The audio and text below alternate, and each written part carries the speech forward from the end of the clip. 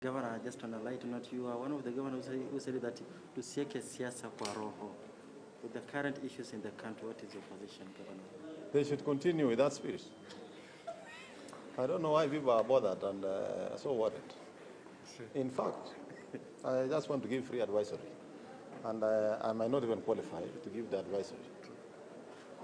I have, I don't understand Kenyans. You know, you think you have a problem with us leaders, but I, I sometimes step, step back and, and look at wananchi wa Kenya, and I think they have a problem themselves. Why do I say they have a problem?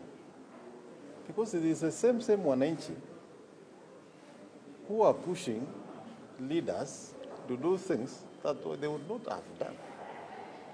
Look at what happened in Kenya. What are the accusations and counter accusation? So and so, I don't know ferried who where.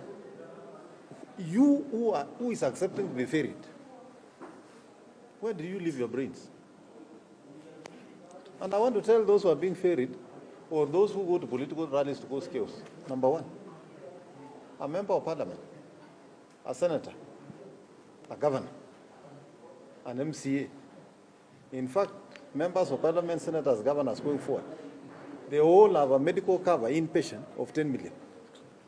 They have an outpatient for probably 2.5. Wewe unaenda kurusha mawe na huna hata NHIF. That's why I, I, don't, I don't understand what is the problem with Kenyans. My friend, sit at home, work for yourself. Take advantage of positive government policies. Stop wasting your time being ferried from one corner to another.